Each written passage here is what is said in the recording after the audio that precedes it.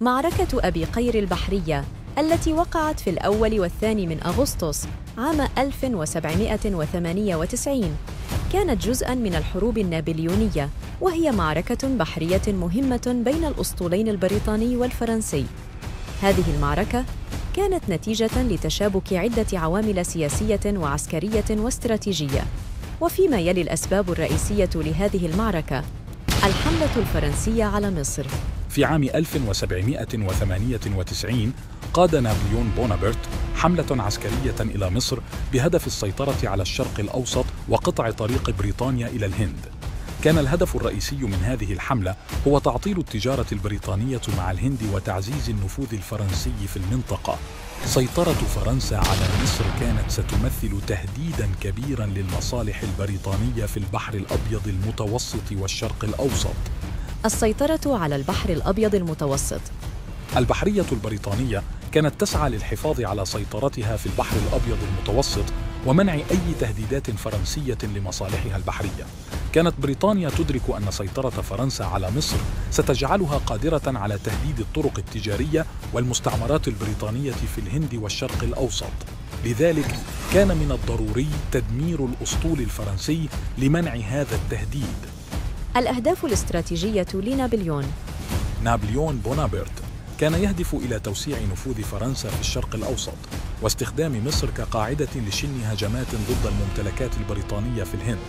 بونابرت كان يأمل أن يتمكن من استخدام مصر كنقطة انطلاق لغزو الهند والسيطرة على المستعمرات البريطانية، مما سيعزز مكانته ويضعف بريطانيا.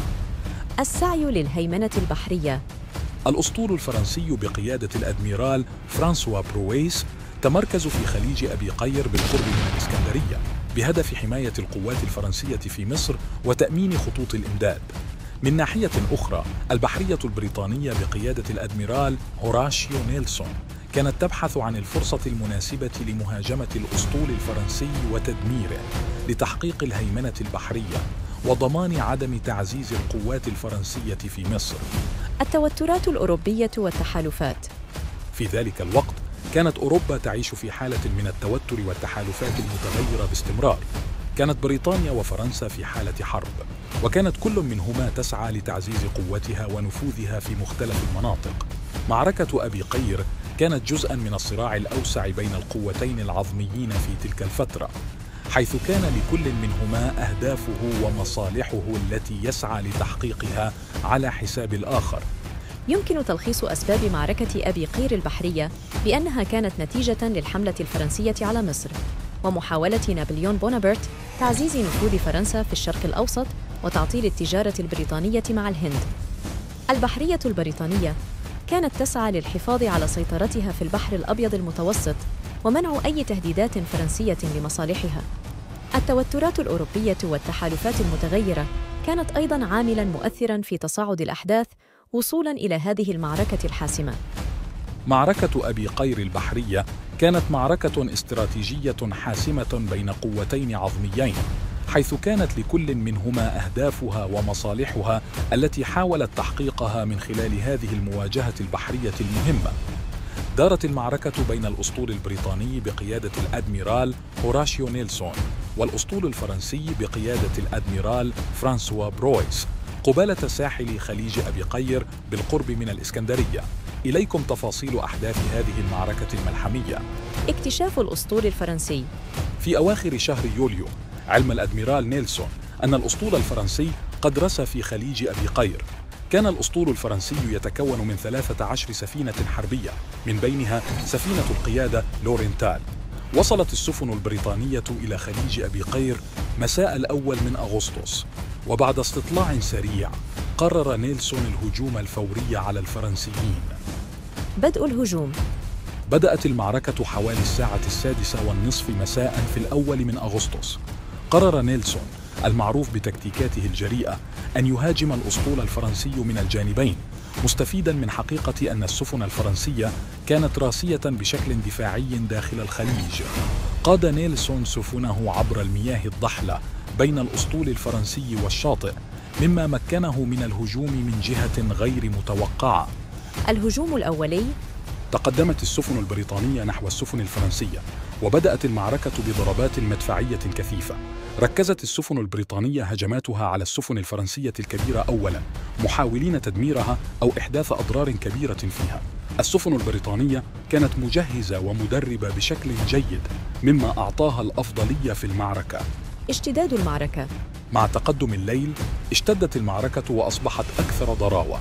السفينة البريطانية فانغارد التي كانت سفينة نيلسون هاجمت السفينة الفرنسية سبارتان بينما قامت السفن البريطانية الأخرى بمهاجمة السفن الفرنسية على طول الخط.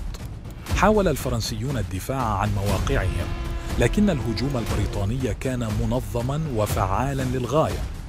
انفجار لورينتال أحد أبرز الأحداث في المعركة كان انفجار السفينة الفرنسية لورينتال في وقت متأخر من الليل أصيبت لورينتال بعدة ضربات مباشرة من السفن البريطانية مما أدى إلى اشتعال النيران فيها. في حوالي الساعة العاشرة مساء انفجرت لورينتال بانفجار هائل مما أدى إلى مقتل الأدميرال برويس وعدد كبير من البحارة الفرنسيين. كان هذا الانفجار نقطة تحول رئيسية في المعركة حيث أضعف معنويات الفرنسيين بشكل كبير. استمرار القتال والنتائج النهائية. استمرت المعركة طوال الليل وحتى صباح الثاني من أغسطس. بحلول الفجر كان الأسطول الفرنسي قد دمر بشكل كبير. تم تدمير أو الاستيلاء على إحدى عشرة سفينة من السفن الفرنسية الثلاثة عشر بينما تمكنت سفينتان فقط من الهروب. نيلسون الذي أصيب بجروح خلال المعركة قاد قواته إلى نصر ساحق. النتائج والتداعيات. كان لانتصار نيلسون في معركة أبي قير البحرية تأثير كبير على مسار الحروب النابليونية. دمرت البحرية البريطانية الأسطول الفرنسي في البحر الأبيض المتوسط مما قطع خطوط الإمداد والاتصال الفرنسية في مصر. هذا النصر جعل من الصعب على نابليون بونابرت تعزيز قواته في مصر مما ساهم في تدهور موقفه العسكري في المنطقة. كما عززت المعركة سمعة نيلسون كواحد من أعظم القادة البحريين في التاريخ. معركة أبي قير البحرية لم تكن مجرد مواجهة عسكرية بل كانت نقطة تحول في التاريخ العسكري والسياسي لأوروبا. أظهرت قوة البحرية البريطانية وأهمية الاستراتيجيات الجريئة في تحقيق النصر. نأمل أن تكونوا قد استمتعتم بهذه الرحلة التاريخية. لا تنسوا الإعجاب بالفيديو والاشتراك في قناتنا لمزيد من المحتوى التاريخي المثير. شكرا لكم على المشاهدة ونراكم في الفيديو القادم.